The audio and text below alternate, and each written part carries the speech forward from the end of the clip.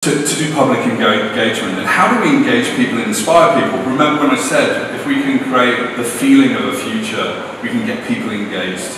Well, I wrote five science fiction stories about customer service and, and going through security, what was happening on the side of the runways, and a whole number of different things. It was a wildly successful campaign, 18 million impressions in, in a province of only about three and a half million people. So people going back and back again. they're interested in these stories and how things were going to change in our world.